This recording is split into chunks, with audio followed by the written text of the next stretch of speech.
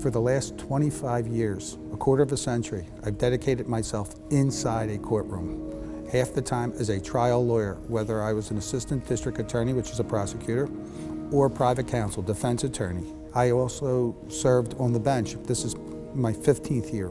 The Supreme Court sits six times a year two weeks in Pittsburgh, Philadelphia, and Harrisburg. And its job is to review the record of what transpired in a trial room.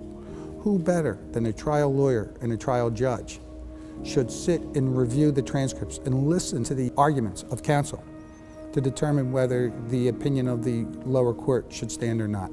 I'm the longest serving administrative judge in the Philadelphia court system, possibly in the Commonwealth. Nine and a half years in the family court system, and I've received the good fortune of serving as the administrative judge or top judge in the Court of Common Pleas Trial Division. Unfortunately, judicial elections are always the lowest voter turnout, yet people don't understand the significance or the magnitude of the court. First and foremost, when you're electing a judge, you're electing us for 10 years with a yes or no vote thereafter. So in essence, you've elected us for life.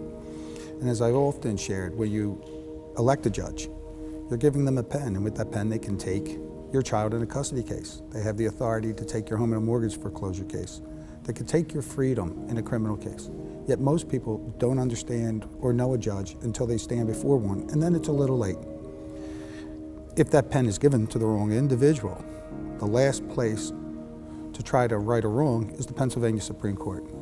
So I'm hoping people understand that you need individuals who have the experience the intellect, the capacity, and the integrity to get up there. And I'm hoping that my message has resonated with the average Pennsylvanian.